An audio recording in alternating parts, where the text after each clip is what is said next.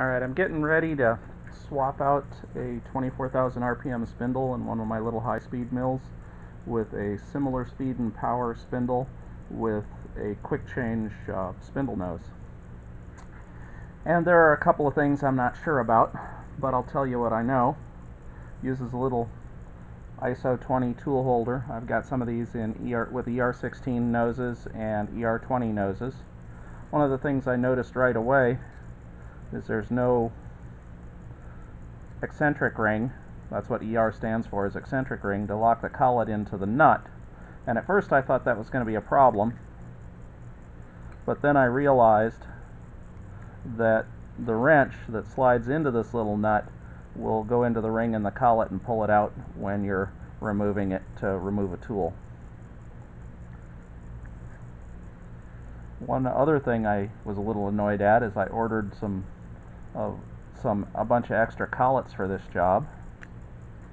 And among those were 3 sixteenths and that's a 4 or 5 millimeter and it's a little loose so I found that a little bit annoying. I hate it when they do that. Oh it's close enough. No if I'd have wanted a 4 or 5 millimeter I'd have ordered a 4 or 5 millimeter.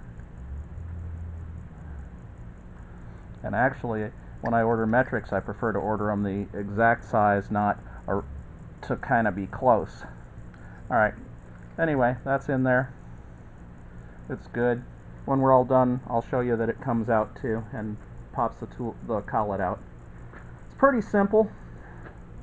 Spindle nose here, air seal, uh, air blast when you're to clear the chips out. I've got a lot of this figured out. I don't know if you can see everything on the back of this spindle but uh, I'll tell you about it and if I need to I'll snap a picture and cut it into the video at some point. Right here is your three-phase power. These three wires right here. Doesn't really matter which one's which. If it runs backward, you just swap any two wires. I know that much. I'm assuming these two are a these two little guys right here are a um, thermal protect of some kind. You can hook them up to a warning I'll probably hook them up to a little flasher or a little sounder, you know, through a relay. The ground is obvious. Uh, I've got two sets of wires here that come out of the same plug and it's labeled transducer and I don't know what that means and each one of these little cables has three individual conductors in it one is labeled HK and one is labeled UK and I don't know what these are for. The uh, water inlets are obvious. You just pump water into the spindle and it goes back out to a large holding tank and you just continuously pump water through the spindle while you're running it so that it doesn't overheat. My other spindles are the same way. Um, a lot of you guys are probably familiar with stuff like that already the center air inlet here all four of these are, are quick connect airline connectors. The center one is the air inlet for the tool change. It's pretty straightforward. You just put air in in here and it, and uh, a, a pneumatic mechanism pushes a drawbar down which opens a claw inside the spindle nose. And then you put the tool in it and release the air the claw closes and the drawbar pulls the tool into the taper of the spindle nose.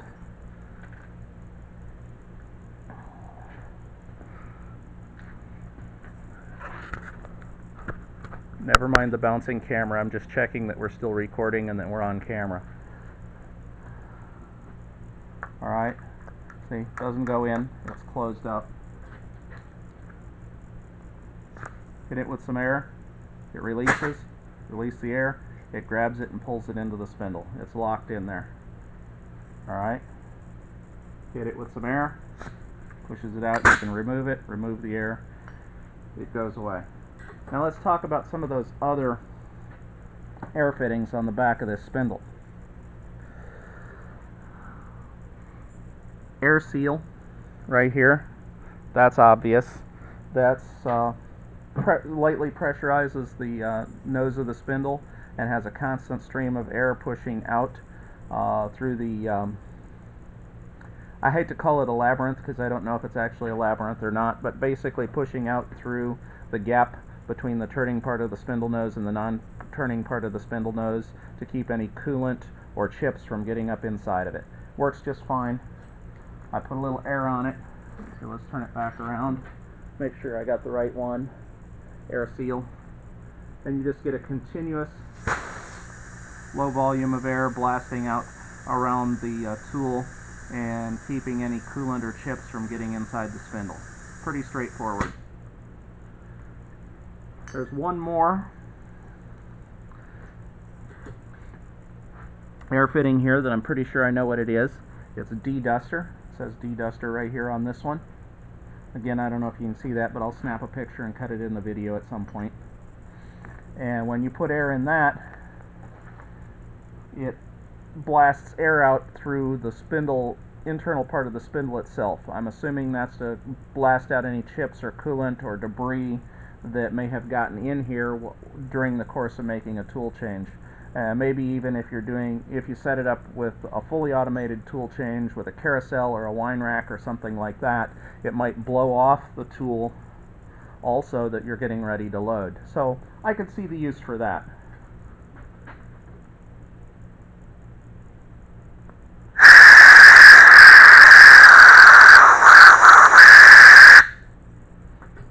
Then there's one more air fitting on the back of this that I haven't got a clue what it does because it doesn't make any sense. It says air outlet. Alright? Now, on another video I watched, a guy seemed to think that the air outlet had something to do with the uh, tool locking mechanism because on his machine he hit the hit it with air, you know, dropped the tool out, put another tool in, and then let the air off, and it took a while before it locked up properly.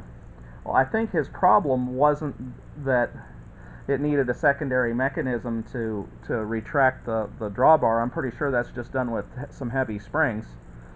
I think what the problem was is that he had a valve, just basically a simple one-way valve, or not one-way valve, but open-closed valve, and he would hit it with air, swap the tool, release his valve, and it would take about 10 seconds or so for the air trapped between his valve and the mechanism to let off enough uh, so that his tool was locked in and his spindle would spin freely.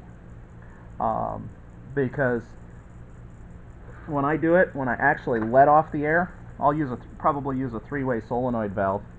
When I actually let off the air, here let's hit the air, put it in, let off the air. It's locked in, spin freely. It's exactly like it's supposed to be. So that other explanation didn't make any sense to me at all. So I really don't know what the air outlet does.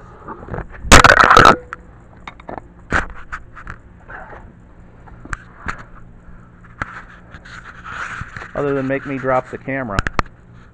Oh, we're still recording. I didn't break the camera. That's good. I don't really know what the air outlet is for.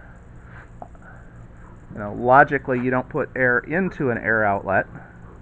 I don't know really what the air outlet is for. Logically, you don't put air into an air outlet. But just trying to figure out if it did anything, I went ahead and put some air into it. I don't hear anything there. Uh, let's put some air into the air seal. No air comes out if I do that. Put air into the D-Duster.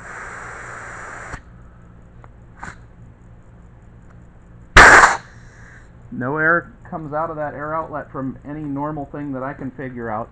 So I don't know what it's for. Maybe you guys can help me out.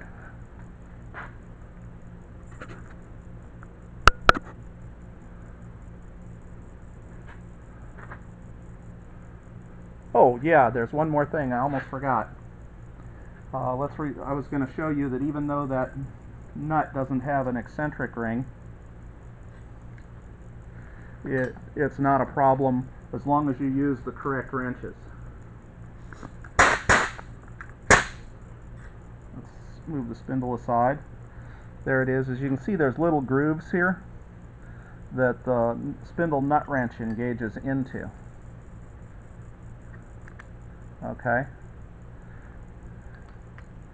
And uh, at first I was like freaking out because these uh, collet closers, you can hear the little pop as it pops it out, because these collet closer nuts didn't have an eccentric ring in them.